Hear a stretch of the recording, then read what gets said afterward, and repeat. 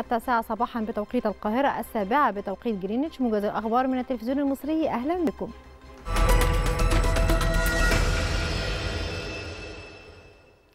استقبل رئيس مجلس الوزراء مصطفى مدبولي بمطار القاهرة الدولي رئيس الوزراء الإسباني بيدرو سانشيز. وأجريت مراسم الاستقبال الرسمية للضيف الإسباني والوفد المرافق له ويقوم رئيس الوزراء الإسباني بزيارة رسمية إلى القاهرة تستغرق يومين. وذلك على رأس وفد يضم عددا من المسؤولين الحكوميين بالإضافة إلى وفد من رجال الأعمال وممثلي كبرى الشركات الإسبانية. ومن المقرر أن يترأس مدبولي وسانشايز اجتماع منتدى رجال الأعمال المصري الإسباني فضلا عن جلسة مباحثات موسعة بحضور الوفد الرسمي لكلا البلدين كما سيتم خلال الزيارة توقيع عدد من مذكرات التفاهم وبروتوكولات التعاون في المجالات الاقتصادية والتجارية والثقافية.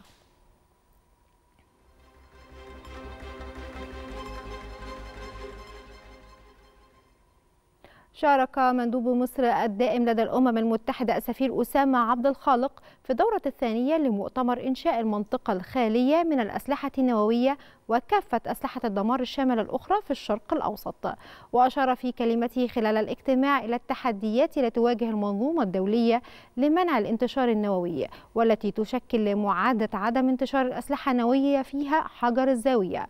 واستمرار عدم تنفيذ قرار عام 1995 بشأن الشرق الأوسط على الرغم من كونه جزءا لا يتجزأ من صفقة التمديد اللانهائي لمعاهدة عدم انتشار الأسلحة النووية. وأضاف مندوب مصر الدائم لدى الأمم المتحدة أن نجاح أعمال الدورة الثانية من المؤتمر من شأنه الانعكاس إيجابيا بشكل عام على فرص نجاح مؤتمر المراجعة المقبل لمعاهدة عدم انتشار الأسلحة النووية ومؤكدا أهمية استكمال هذا المسار حتى يحقق هدفه المنشود والمتمثل في إنشاء المنطقة الخالية وفقا لقرار عام 1995 وخطة عمل مؤتمر المراجعة لعام 2010 أعلنت وزارة الصحة والسكان عن خروج 639 متعافيا من فيروس كورونا من المستشفيات وذلك بعد تلقيهم الرعاية الطبية اللازمة وتمام شفائهم. ليرتفع إجمالي متعافين من الفيروس إلى 297536 حالة. وفي بيانها اليومي أوضحت وزارة الصحة أنه تم تسجيل 949 حالة إصابة جديدة و62 حالة وفاة. شدد الرئيس التونسي قيس سعيد على أن الدولة التونسية قوية بشعبها وبتاريخها الحافل بالبطولات والأمجاد وهي بحاجة إلى الصادقين المخلصين للوطن مؤكدا على مواصلة العمل بنفس العزيمة والاستعداد من أجل إعلاء راية الوطن وتحمل الأمانة كاملة للتصدي لكل من يتربص بتونس ولا تحقيق آمال الشعب. وخلال اجتماع المجلس الأعلى للجيوش أكد الرئيس التونسي أن الدولة ليست لقمة سائغة ومؤسساتها ستبقى قائمة موضحا أن كل من يعمل على ضرب الدولة أو التسلل إلى مؤسساتها فهو واهم.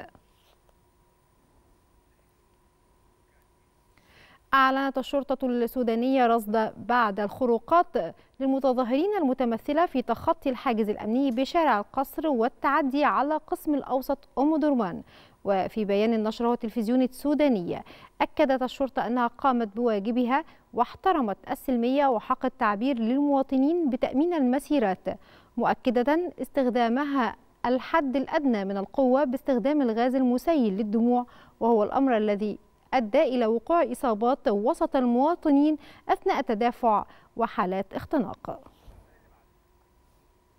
أعلنت الشرطة الأمريكية مقتل ثلاثة أشخاص وإصابة حوالي ستة آخرين في إطلاق نار في مدرسة ثانوية ثانوية أكسفورد العامة بولاية ميشيغان.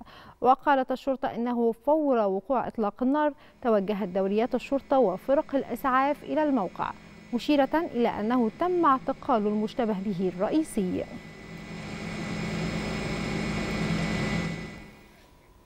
ورياضيا يبدأ المنتخب الوطني لكرة القدم في الثالثة عصر اليوم مشواره ببطولة كأس العرب بمواجهة نظيره اللبناني ضمن منافسات المجموعة الرابعة للبطولة. وأكد المدير الفني للفراعنة البرتغالي كارلوس كيروش جاهزية جميع اللاعبين لخوض مباراة اليوم.